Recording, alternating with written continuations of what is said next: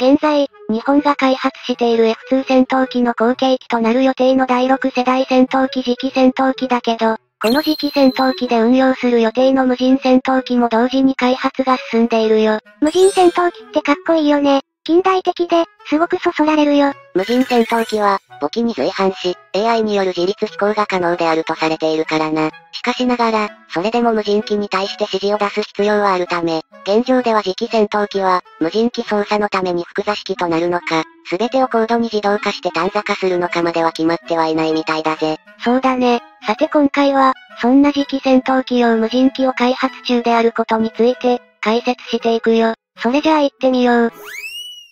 次世代の第6世代戦闘機は、西側先進国を中心に世界各国で開発が進んでいるんだけど、現在のところの第6世代戦闘機のコンセプトの一つとしては、簿記となる戦闘機に無人機が随伴し、簿記は無人機と共同で戦闘行動を行うことにより、より作戦の幅を広げつつ、簿記の生存性を向上させようとしているんだ。日本でも次期戦闘機として第6世代戦闘機の開発が2021年より本格的に開始されているけど、3代目の国産戦闘機として、F3 とも呼ばれており、無人機についても2021年に実証機の開発関係費の予算が計上されているよ。フルスケールでの開発が進められることになり、次期戦闘機と同様、2035年頃に配備される予定となっているよ。現在は、自衛隊の作戦及び任務の遂行に応じたミッションシステムや、インテグレーション技術の研究開発及び各種武器を統合する、火器管制システムなどの研究開発を進めている状況らしい。また、現在開発中の無人機は、前述のミッションシステムやインテグレーションとの、緊密な連携とそれに対応した自立飛行制御技術の開発が求められており、簿記のパイロットが移行制御せずとも自立飛行を行い、所定の任務遂行が可能なレベルの無人機開発を行っているようだな。将来的には、敵対勢力の人間を無人機が、自動的に攻撃するような戦場になっていきそうだね。そうだね。そして、現在無人機に求められているものは、簿記のパイロットの生存性を高める高度な自立飛行及び作戦遂行能力、有人機では不可能な高機動性、人間の登場が不要であるため、機体内部容積を兵器及び燃料に割り当てることによる、兵器搭載量及び燃料搭載量の増大と機体凹凸の削減によるステルス性の向上だよ。コストパフォーマンスについても、有人機に比べて、パイロットの搭乗スペースや操縦機器を削減できるんだ。そして、最悪撃墜されてもパイロットの損耗を防ぐことができるので、兵装を使い果たした場合でも機体を敵機や敵艦船に特攻させて攻撃することすらできるってわけ。もちろん、無人機といえども非常に高価な装備だから、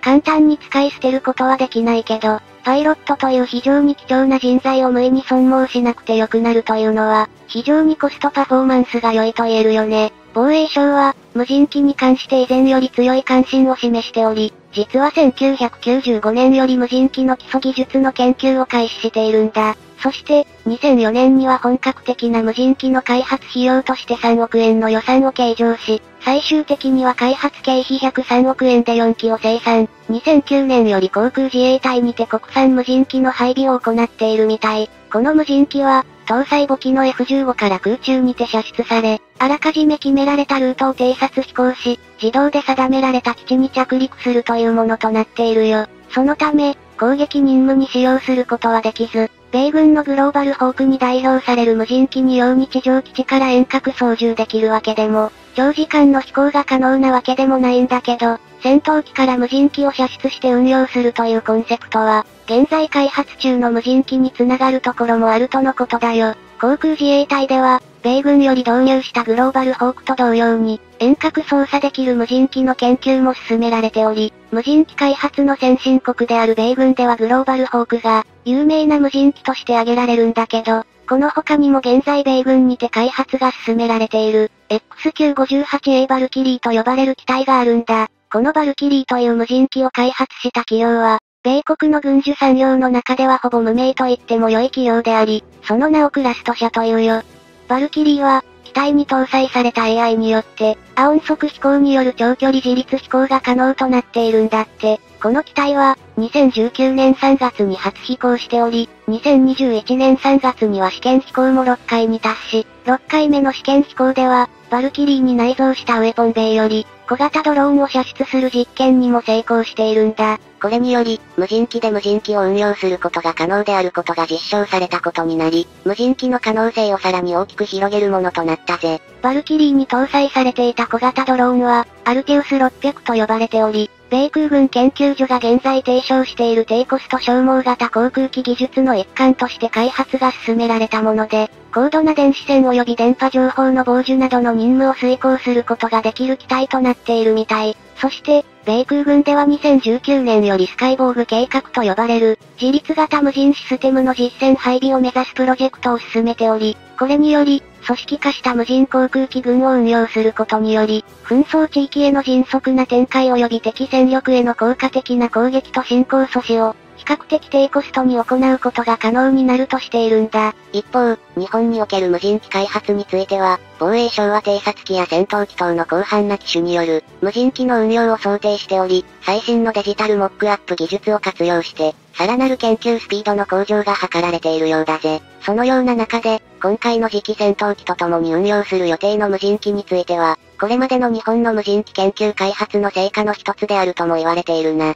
防衛装備長級技術研究本部では、2016年8月に将来の無人機に関する研究ビジョンを公表しており、その内容としては航空無人機の研究開発を中心としていたんだけど、2019年以降からは第3分類無人技術検証と呼ばれるフェーズに移行しており、遠距離見通し外運用型の無人機技術の検証を行っているところとなっているようだね。この後、第4分類無人技術検証にて、戦闘型無人機の研究開発も進められていて、これでは、第3分類無人技術検証にて行っている検証のほか、近距離見通しない運用型、特殊飛行型及び携帯型、ドローンなども候補とされているんだ。現在、これらの研究を基礎としつつ、現状に即して適時研究内容に柔軟性を持たせつつ、無人機の研究開発が進行しているってわけ。また、単にドローンと呼ばれるものでも、用途によって様々な大きさや型式があるぜ。日本が開発しているのは、どんな無人機なの？防衛省で現在開発が進められている次期戦闘機と連携運用する無人機の種類は、近距離見通し外での運用型でありかつ、携帯型無人機とでも言うべきものであるように思われるんだ。これらの無人機開発及び運用思想は、現在の世界の潮流でもあるんだけど、日本においては F15 イーグル戦闘機の最近代化回収計画が予定通り進んでいない現状では、第6世代戦闘機の開発及び無人機開発に注力していくのは、日本の防衛力整備においては当然の対応であると思われるね。世界各国においても無人機開発に力を入れており、米国においては、2021年2月に米国防高等研究計画局から、ロングショット開発計画と呼ばれる無人機開発計画を発表しているよ。そして、米国内3社に対し、空対空ミサイルによる敵機の迎撃を可能とする、ドローンの設計プランの提出を求めており、このドローンは、母機となる有人機を護衛し、有人機パイロットの生存性確保につながるものとされているんだ。2022年現在、世界はロシアによるウクライナ侵攻によって軍事的な緊張感が大きく高まっているよね。そのような中、米ロは第6世代だけではなく、第5世代や第4.5世代戦闘機への無人機運用能力の付与検討していると専門家の間で囁かれているってわけ。このような米ロの動きに対して、日本は防衛予算の制約もあり、研究開発が遅れていると言わざるを得ない状況ではあるんだけど、今後、航空戦力の無人化は避けては通れない重要な案件であると言わざるを得ないんだ。日本に大きな軍事的圧力を加えている中国は第6世代戦闘機の開発よりも、無人戦闘機の研究開発に力を入れていると言われており、ロシアのウクライナ侵略において、ウクライナ側は無人機によって、ロシア軍部隊に効果的な打撃を与えているとメディアを通して報じられているからね。現在の無人機開発の進捗状況によっては、将来の日本の防空体制、航空優勢の確保に甚大な影響を及ぼすことはほぼ間違いないよな。